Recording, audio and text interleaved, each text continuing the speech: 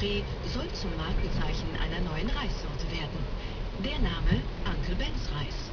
Der echte Onkel Ben ist ein schwarzer Reisfarmer aus Texas. Der ist allerdings schon tot. So wird Frank Brown das Gesicht von Uncle Ben.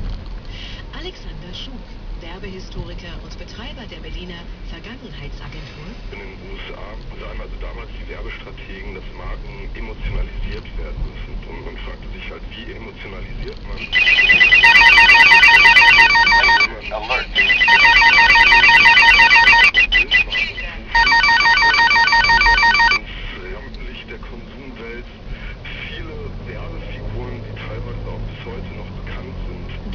Der Nahrungsmittelkonzern Mars vermarktet Uncle Ben's weltweit.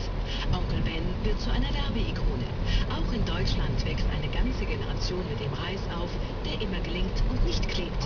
In den USA jedoch protestieren viele gegen das Klischee des unterwürfigen schwarzen Hausdieners. Im heutigen Kontext ist das natürlich sehr fragwürdig.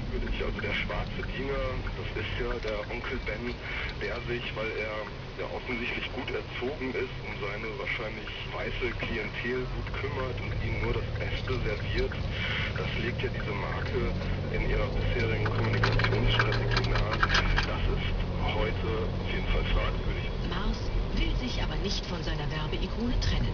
2007 schließlich befördert die PR-Abteilung die Figur Onkel Ben zum Präsidenten mit eigenem Büro. Korrekte Imagepflege kostet 20 Millionen Dollar. Die Firma kann sich diese Kampagne leisten. Ihr Jahresumsatz beträgt 18 Milliarden Dollar. Dafür sorgen nicht der Reis, sondern Schokoriegel und Katzenfutter. Geschichte